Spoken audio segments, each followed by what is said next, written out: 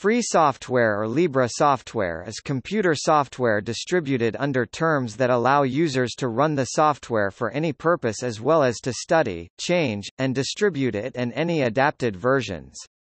Free software is a matter of liberty, not price. Users individually or in cooperation with computer programmers are free to do what they want with their copies of a free software including profiting from them regardless of how much is paid to obtain the program.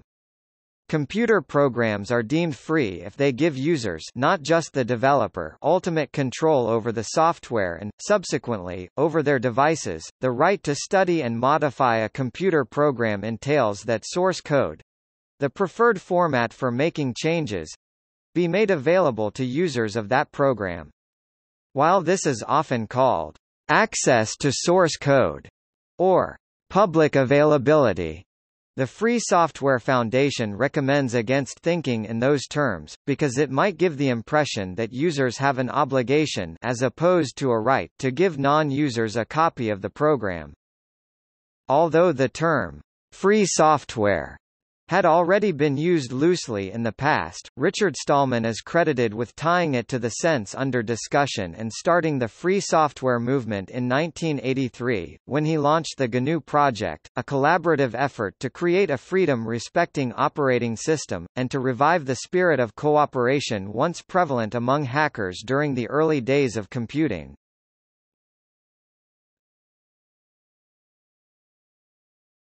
Topic. Context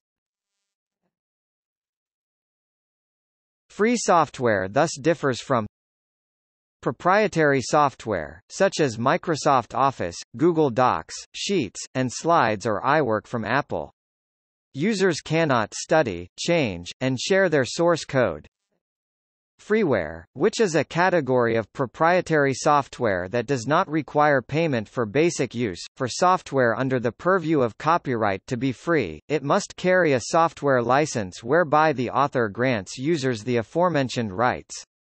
Software that is not covered by copyright law, such as software in the public domain, is free as long as the source code is in the public domain too, or otherwise available without restrictions.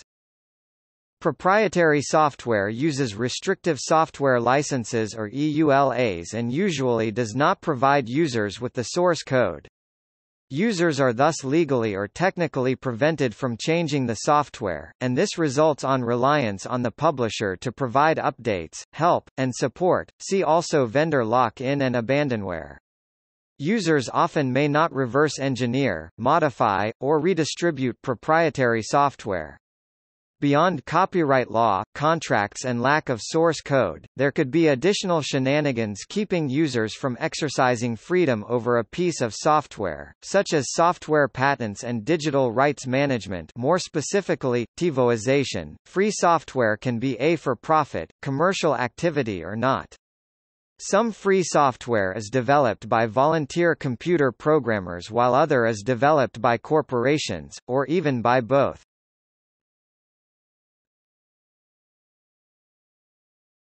Topic: Naming and differences with open source. Although both definitions refer to almost equivalent corpora of programs, the Free Software Foundation recommends using the term free software rather than open source software. A younger vision coined in 1998, because the goals and messaging are quite dissimilar. Open source and its associated campaign mostly focus on the technicalities of the public development model and marketing free software to businesses, while taking the ethical issue of user rights very lightly or even antagonistically. Stallman has also stated that considering the practical advantages of free software is like considering the practical advantages of not being handcuffed, in that it is not necessary for an individual to consider practical reasons in order to realize that being handcuffed is undesirable in itself. The FSF also notes that open source has exactly one specific meaning in common English, namely that you can look at the source code it states that while the term free software can lead to two different interpretations, at least one of them is consistent with the intended meaning unlike the term open source. The loan adjective libre is often used to avoid the ambiguity of the word free in English language, and the ambiguity with the older usage of free software as public domain software. See gratis versus libre.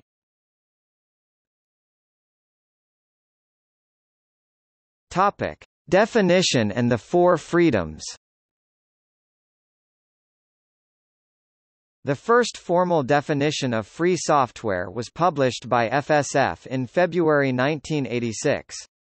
That definition, written by Richard Stallman, is still maintained today and states that software is free software if people who receive a copy of the software have the following four freedoms. The numbering begins with zero, not only as a spoof on the common usage of zero-based numbering in programming languages, but also because Freedom Zero was not initially included in the list, but later added first in the list as it was considered very important. Freedom Zero, the freedom to run the program for any purpose. Freedom 1, the freedom to study how the program works, and change it to make it do what you wish. Freedom 2, the freedom to redistribute and make copies so you can help your neighbor. Freedom 3, the freedom to improve the program, and release your improvements and modified versions in general to the public, so that the whole community benefits. Freedoms 1 and 3 require source code to be available because studying and modifying software without its source code can range from highly impractical to nearly impossible. Thus, free software means that computer users have the freedom to cooperate with whom they choose, and to control the software they use. To summarize this into a remark distinguishing Libre freedom software from gratis zero price software, the Free Software Foundation says, Free software is a matter of liberty, not price. To understand the concept, you should think of free as in free speech, not as in free beer. See Gratis versus Libre. In the late 1990s, other groups published their own definitions that describe an almost identical set of software. The most notable are Debian Free Software Guidelines published in 1997, and the Open Source Definition, published in 1998. The BSD-based operating systems, such as FreeBSD, OpenBSD, and NetBSD, do not have their own formal definitions of free software. Users of these systems generally find the same set of software to be acceptable, but sometimes see copyleft as restrictive. They generally advocate permissive free software licenses, which allow others to use the software as they wish, without being legally forced to provide the source code. Their view is that this permissive approach is more free. The Kerberos, X11, and Apache software licenses are substantially similar in intent and implementation.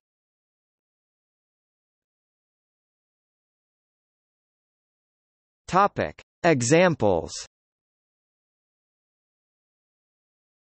There are thousands of free applications and many operating systems available on the Internet.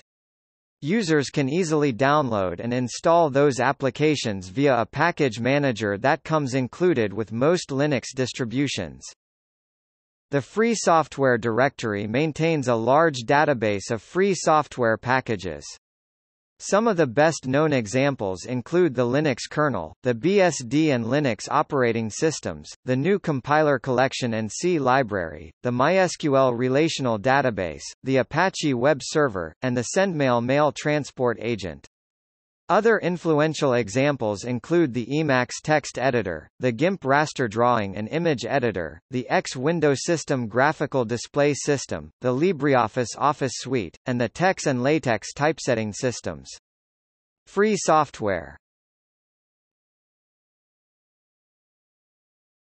Topic: History From the 1950s up until the early 1970s, it was normal for computer users to have the software freedoms associated with free software, which was typically public domain software.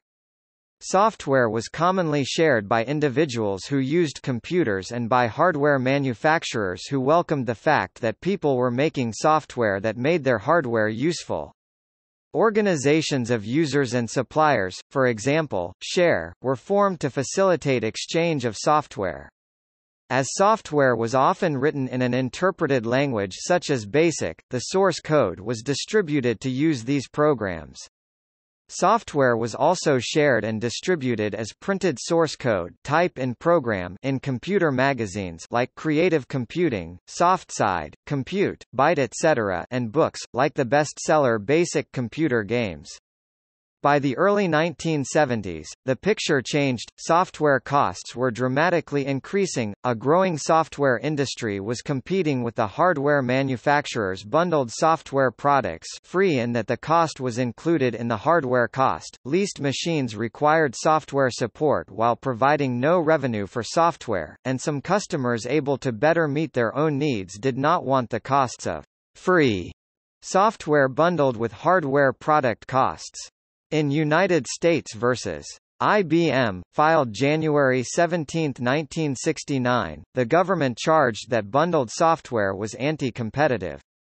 While some software might always be free, there would henceforth be a growing amount of software produced primarily for sale.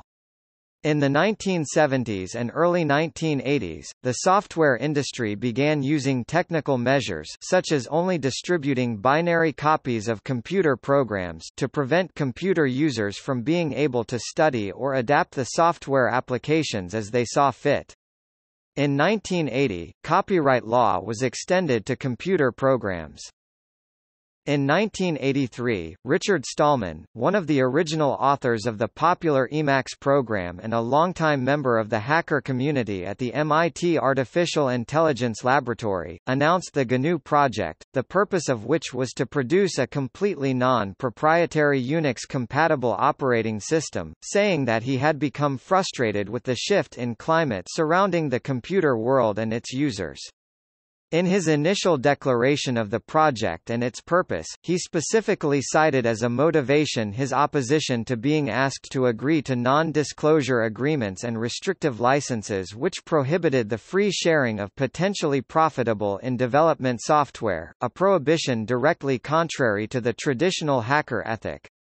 Software development for the new operating system began in January 1984, and the Free Software Foundation FSF was founded in October 1985. He developed a free software definition and the concept of copyleft, designed to ensure software freedom for all. Some non-software industries are beginning to use techniques similar to those used in free software development for their research and development process. Scientists, for example, are looking towards more open development processes, and hardware such as microchips are beginning to be developed with specifications released under copyleft licenses. See the OpenCores project, for instance. Creative Commons and the free culture movement have also been largely influenced by the free software movement.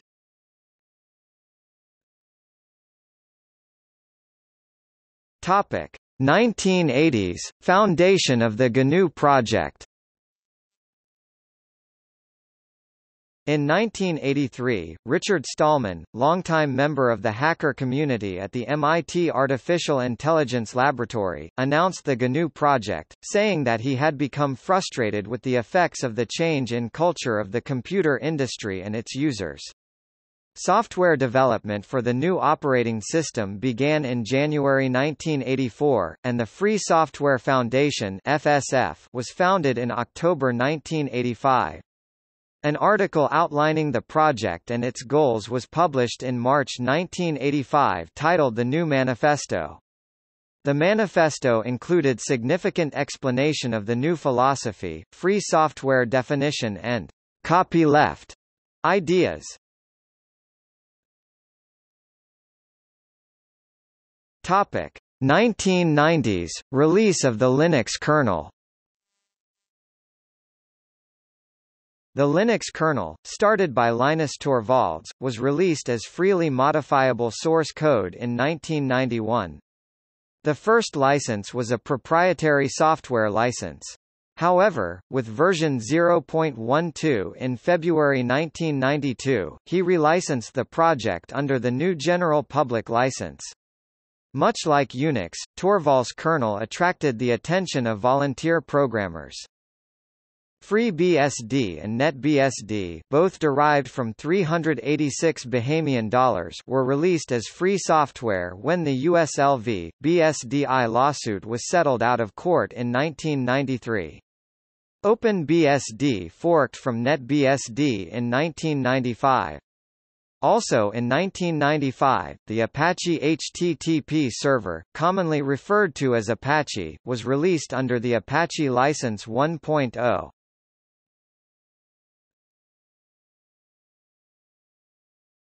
Topic: Licensing. All free software licenses must grant users all the freedoms discussed above. However, unless the application's licenses are compatible, combining programs by mixing source code or directly linking binaries is problematic, because of license technicalities. Programs indirectly connected together may avoid this problem. The majority of free software falls under a small set of licenses. The most popular of these licenses are the MIT license, the GNU General Public License V2 GPL V2 The Apache License The GNU General Public License V3 GPL V3 The BSD License The GNU Lesser General Public License LGPL The Mozilla Public License MPL the Eclipse Public Licenseth Free Software Foundation and the Open Source Initiative both publish lists of licenses that they find to comply with their own definitions of free software and open source software respectively. List of FSF-approved software licenses List of OSI-approved software licenses The FSF list is not prescriptive, free software licenses can exist that the FSF has not heard about, or considered important enough to write about. So it's possible for a license to be free and not in the FSF list. The OSI list only lists licenses that have been submitted, considered and approved. All open-source licenses must meet the open-source definition in order to be officially recognized as open-source software. Free software, on the other hand, is a more informal classification that does not rely on official recognition. Nevertheless, software licensed under licenses that do not meet the free software definition cannot rightly be considered free software. Apart from these two organizations, the Debian project is seen by some to provide useful advice on whether particular licenses comply with their Debian free software guidelines. Debian doesn't publish a list of approved licenses, so its judgments have to be tracked by checking what software they have allowed into their software archives. That is summarized at the Debian website. It is rare that a license announced as being in compliance with the FSF guidelines does not also meet the open source definition, although the reverse is not necessarily true. For example, the NASA Open Source Agreement is an OSI approved license, but non-free according to FSF. There are different categories of free software. Public domain software, the copyright has expired, the work was not copyrighted released without copyright notice before 1988, or the author has released the software onto the public domain with a waiver statement in countries where this is possible. Since public domain software lacks copyright protection, it may be freely incorporated into any work, whether proprietary or free. The FSF recommends the CC0 public domain dedication for this purpose.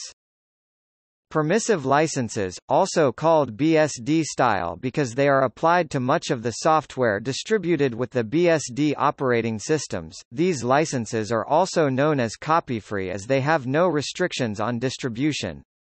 The author retains copyright solely to disclaim warranty and require proper attribution of modified works, and permits redistribution and any modification, even closed-source ones. In this sense, a permissive license provides an incentive to create non-free software, by reducing the cost of developing restricted software. Since this is incompatible with the spirit of software freedom, many people consider permissive licenses to be less free than copyleft licenses. Copyleft licenses, with the GNU General Public License being the most prominent, the author retains copyright and permits redistribution under the restriction that all such redistribution is licensed under the same license. Additions and modifications by others must also be licensed under the same copyleft license whenever they are distributed with part of the original licensed product. This is also known as a viral, protective, or reciprocal license. Due to the restriction on distribution not everyone considers this type of license to be free.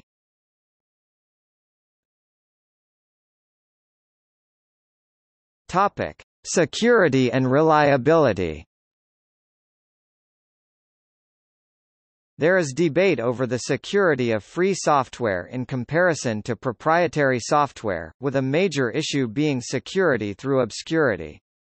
A popular quantitative test in computer security is to use relative counting of known unpatched security flaws. Generally, users of this method advise avoiding products that lack fixes for known security flaws, at least until a fix is available. Free software advocates strongly believe that this methodology is biased by counting more vulnerabilities for the free software systems, since their source code is accessible and their community is more forthcoming about what problems exist. This is called security through disclosure. And proprietary software systems can have undisclosed societal drawbacks, such as disenfranchising less fortunate would-be users of free programs.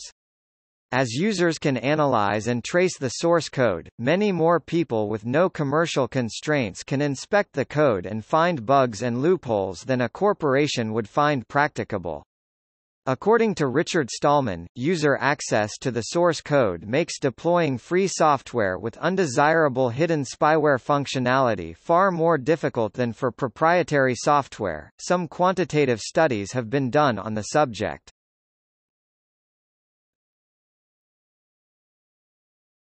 Topic: Binary blobs and other proprietary software. In 2006, OpenBSD started the first campaign against the use of binary blobs in kernels.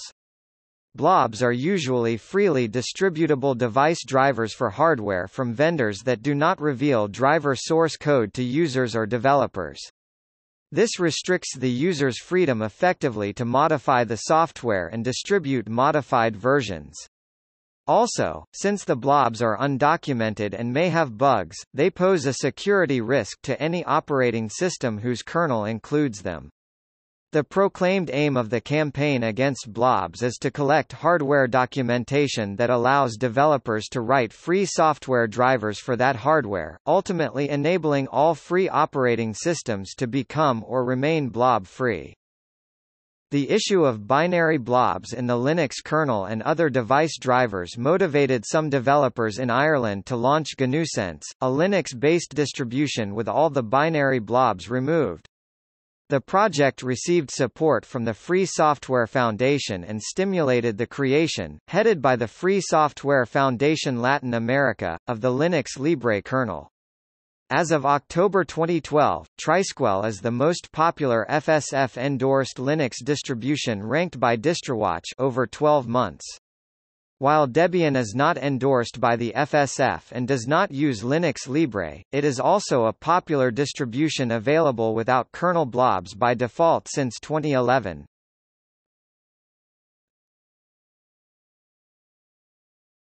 Topic: Business model.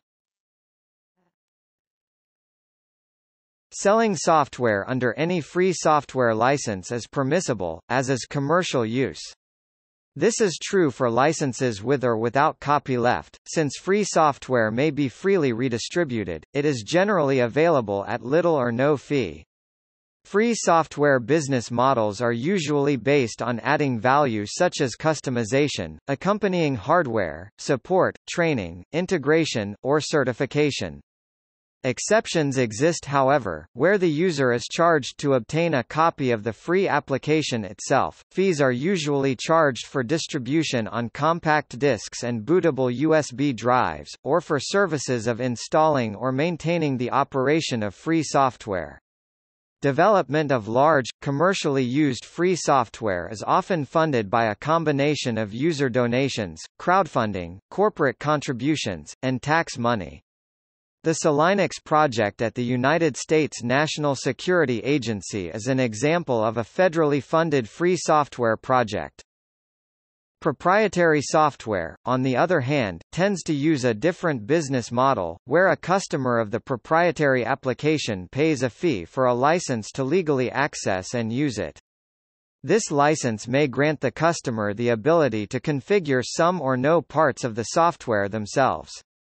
Often some level of support is included in the purchase of proprietary software, but additional support services especially for enterprise applications are usually available for an additional fee. Some proprietary software vendors will also customize software for a fee. The Free Software Foundation encourages selling free software. As the foundation has written, Distributing free software is an opportunity to raise funds for development. Don't waste it. For example, the FSF's own recommended license the GNU GPL states that you may charge any price or no price for each copy that you convey, and you may offer support or warranty protection for a fee.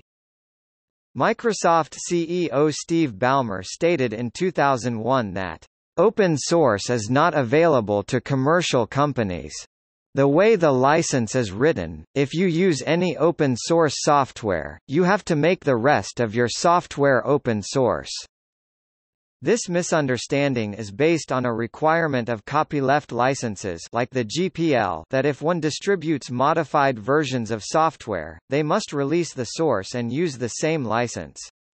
This requirement does not extend to other software from the same developer. The claim of incompatibility between commercial companies and free software is also a misunderstanding. There are several large companies, e.g. Red Hat and IBM, which do substantial commercial business in the development of free software.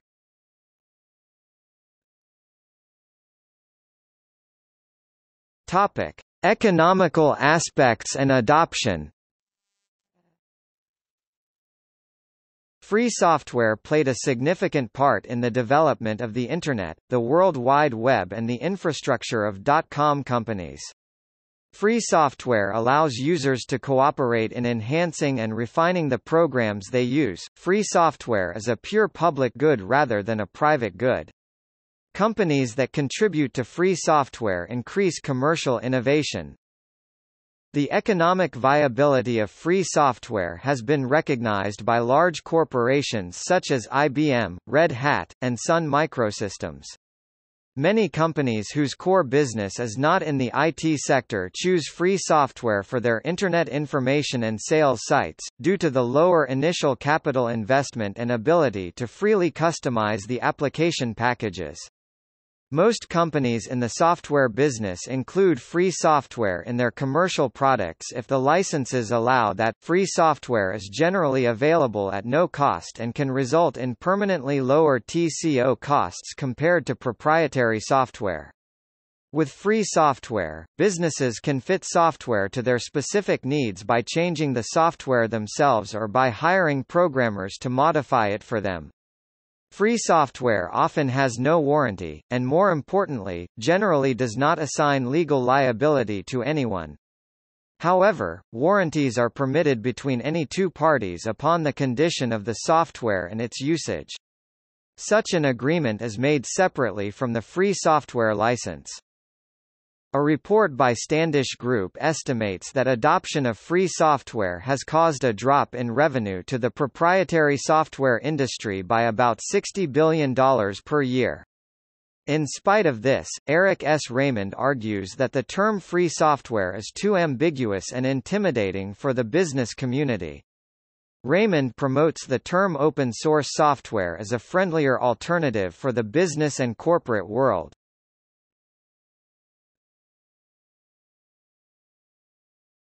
Topic. See also Notes